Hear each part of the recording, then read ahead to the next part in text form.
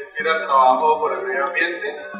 Eh, vengo de Chiquinquirá, Boyacá. Eh, los invito a Descortesanía 25 años. Toda una historia de, de, de artesanía, de trabajo con, con las comunidades de Colombia. Los invito a esta versión que está muy.